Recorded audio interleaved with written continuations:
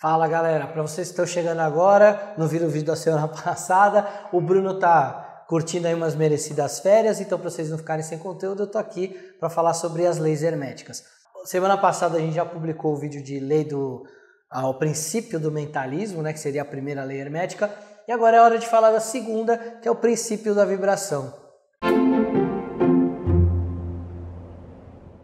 Então vamos lá, a gente falou um pouco do que, que é a filosofia hermética, então deixando claro que é uma filosofia né, que foi é, trabalhada provavelmente no Egito, trazida depois para a Grécia e daí espalhada para o mundo inteiro.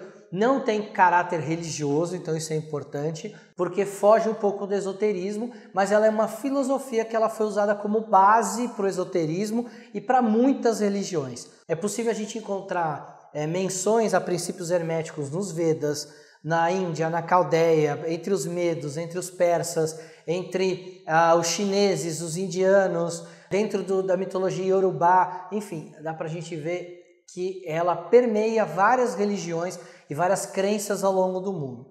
E hoje nós vamos falar da segunda, que é a da vibração. O que, que ela diz? Ela diz que nada está parado, tudo se move, tudo vibra. Para nós hoje que sabemos que graças ao Einstein, né, por causa daquela equação dele E igual a mc ao quadrado, hoje nós sabemos que matéria é energia.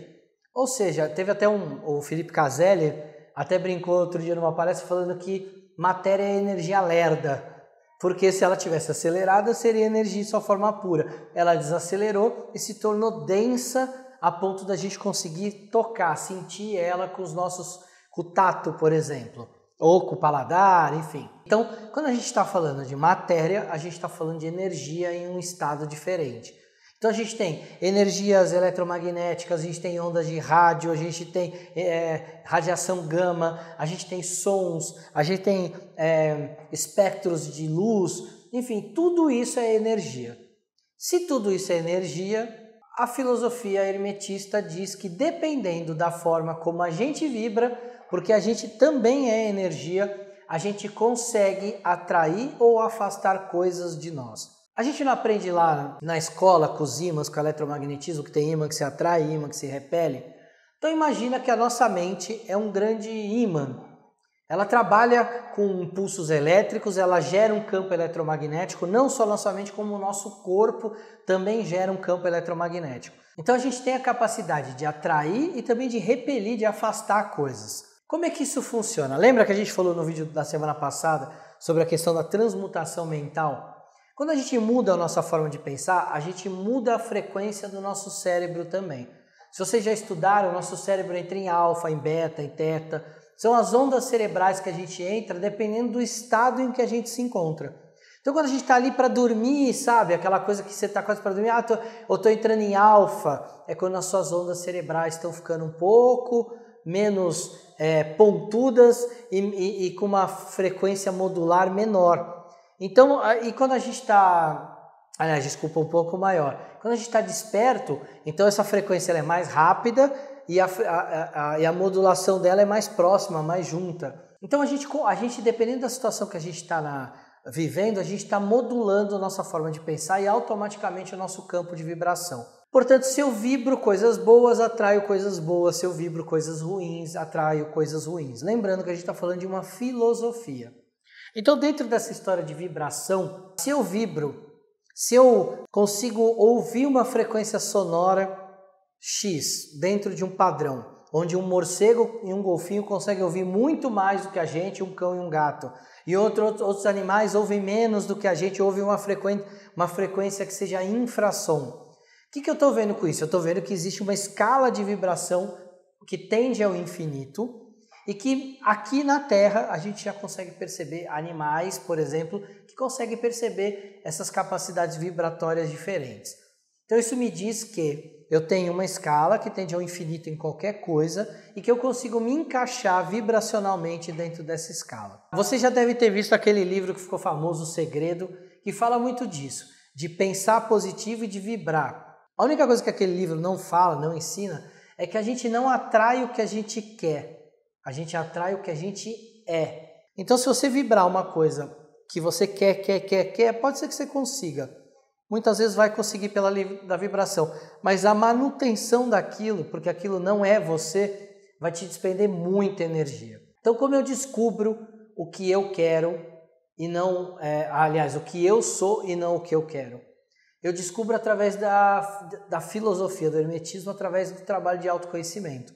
É aí que entra o autoconhecimento, para você reconhecer quem você é de verdade e sabendo quem você é, você começa a atrair o que você é. Então, vou atrair o tipo de emprego que eu quero de verdade, os tipos de pessoas que eu quero ao meu redor, vou atrair os tipos de relacionamento que eu quero, tanto pessoais quanto profissionais, quanto familiares. Então, eu vou começar a atrair o que eu sou. A gente vive numa, num momento da sociedade que a gente é bombardeado por informações, por propagandas, por cobranças de quem a gente deve ser, aonde a gente deve chegar, como a gente deve se comportar. E essas cascas que a gente vai criando, elas muitas vezes chegam num, num ponto em que a pessoa nem se reconhece mais. Ela se tornou algo que ela não é.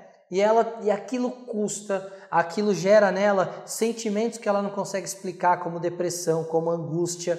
Por quê? Porque aquilo está fazendo mal para ela, mesmo que ela não perceba. Quando ela trabalha e começa a desmontar essas cascas para chegar no que ela é de verdade, e aí sim, por lei de vibração, ela vai conseguir atrair as coisas que ela é.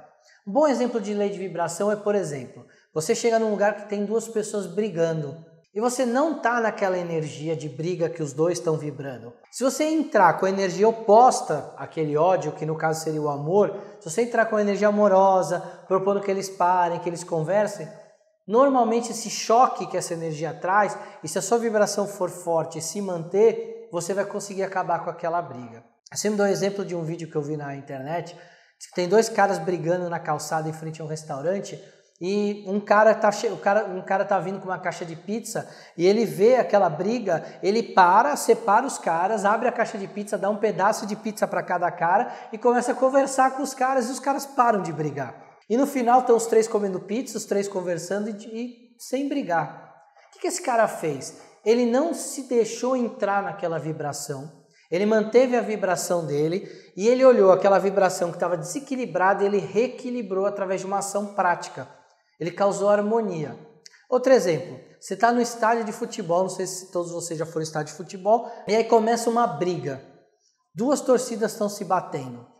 Normalmente ninguém tem ideia por que está se batendo. Às vezes foi um cara que xingou o outro, os dois começaram a se bater, e aí começa uma briga generalizada só porque as outras pessoas estão com a camisa do time contrário. E você não entra na briga. Por que você não entra na briga? Porque você não deixou que aquela vibração te contaminasse. Como eu disse, tem gente que nem sabe por que está brigando. E aí isso cria um efeito manada.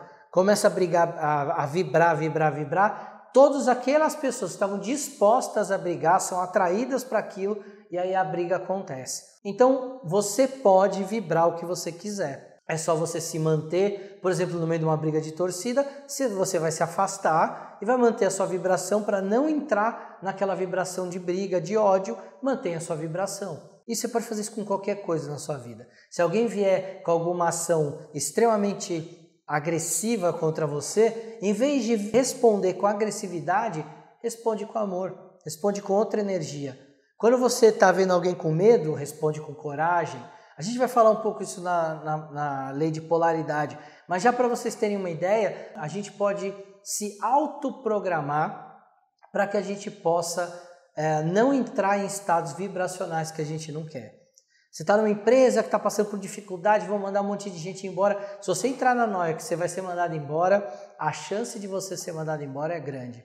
Você vai, por lei de vibração, atrair isso, por lei de mentalismo, como a gente falou no outro vídeo, você vai acabar se auto-sabotando e até, e até mesmo que inconscientemente cometendo alguns erros para entrar nessa vibração. Então, não vibre de acordo com o que você não quer, vibre de acordo com o que você é. Beleza? Então é isso, espero que vocês tenham gostado, espero que vocês reflitam sobre essa, essa lei da vibração, que é a segunda lei hermética. Ela está lá no Caibalion, para quem ainda não leu, aconselho, é um livro de cento e poucas páginas, extremamente é, importante. Tem uma tradução muito legal do Caibalion, feito pelo Rafa Reis, que é um dos nossos padrinhos do canal. Ele está lá na Amazon pelo preço de um café, conforme ele costuma brincar. Então, é, pode comprar, ler, vale a pena. É um livro para você que está entrando nessa senda filosófica, esotérica, ocultista, enfim, ou você só quer melhorar sua vida através de uma filosofia. Eu indico o Caibalion para você ler. Não esquece de curtir o vídeo, de compartilhar, de se inscrever no canal se você ainda não é inscrito. Se tiver alguma dúvida, comenta aí no vídeo, eu vou responder vocês. Assim que o Bruno voltar, então, a gente volta com a programação normal do canal. E se você quiser ser um padrinho do canal, cdh.tv.br, a padrinho canal, você vai ter lá como funciona, quais são as recompensas por cada nível de apadrinhamento. Aproveita. O de Telegram é muito legal, a gente tem uns grupos de estudo muito bacanas, principalmente o de Cabala que eu estou tocando lá com o pessoal. Então, se você está interessado em estudar astrologia, tarô, encontrar um pessoal que é da sua tribo, aproveita para apadrinhar o canal. Se você gostou de hermetismo, nós temos um curso de hermetismo também no site lá do canal, cdh.tv.br barra cursos. É, lá tem toda a, a, explicação de como comprar o curso e tudo. São mais 5 horas e poucos de curso, onde eu aprofundo bastante do hermetismo e, dou, e trago para uma aplicação mais prática. Beleza? Valeu!